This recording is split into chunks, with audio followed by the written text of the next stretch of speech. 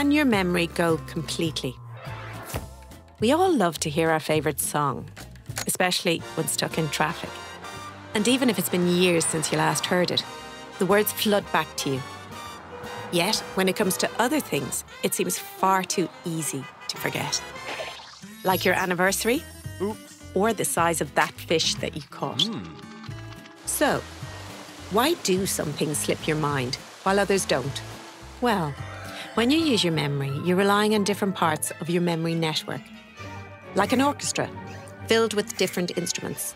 So, if you get a question right at the local pub quiz, you're using your fact memory.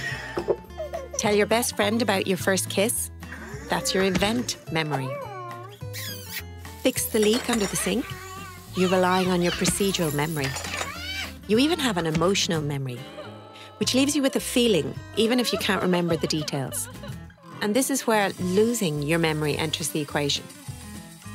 Because even if you do have a memory problem, scientists are finding you still retain emotional memories.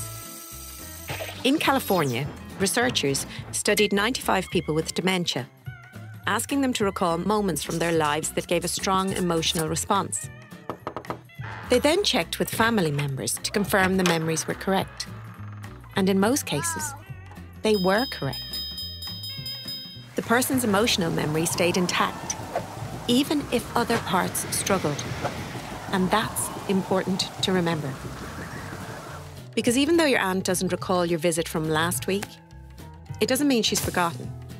She may have a pleasant feeling or an emotional memory, which is why it's important to keep visiting her. And when you do, ask about her childhood, because older memories stay with us longer, a concept scientists call the reminiscence bump. What's more, remembering can leave her feeling good.